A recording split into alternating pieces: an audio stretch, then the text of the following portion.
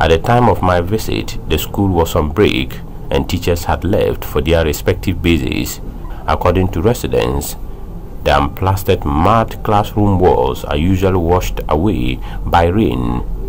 The weak, insecure and fallen structure with leaking roofs make it unsafe for human habitation.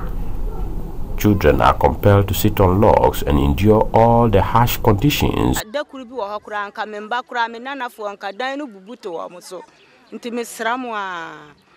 There was a day the building nearly collapsed on my grandchildren. So please come to our aid and construct a new school for us.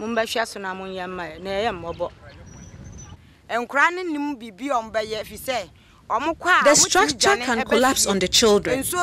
They run back home anytime they go to school, and we can't blame the teachers. It is not their fault. Anytime it rains, they have to run back home. Community leaders say neglect of the school without renovation put children in danger. Then I chanced on this structure close to the Bunuso MA Primary School. It started four months ago to replace the old mud block. Thomas Appiah Kubi is Municipal Chief Executive of Asante Mampong. During the 2016 electioneering campaign, I came here as a constituency chairman to observe that the, the, the classrooms, the supposed classroom in which the children of Bunuso are attending um, or having their learning um, activities was not something that was the best.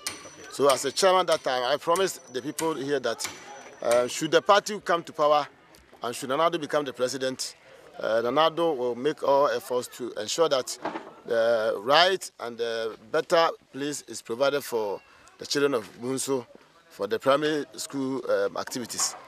So by the grace of God, the party won and, and the honors of Nana Addo Dankwa Akufo-Addo, I became the MC for the municipality. So my party coordinator here, the SMC, the assemblyman and the headmaster for this school came to my office to remind me of the promise that I made on behalf of the party.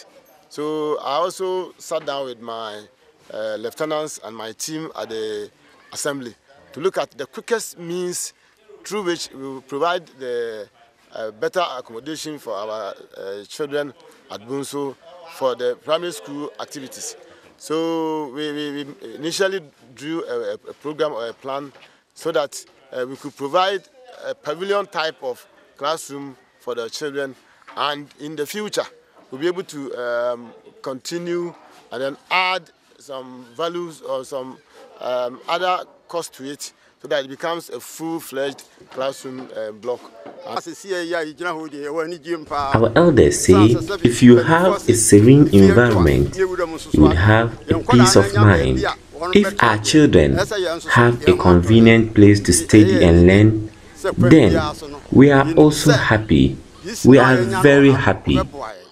This new structure comes handy for the children, but they have to wait for a while to enjoy its comfort. Mahmud Mohammed Nurudeen reporting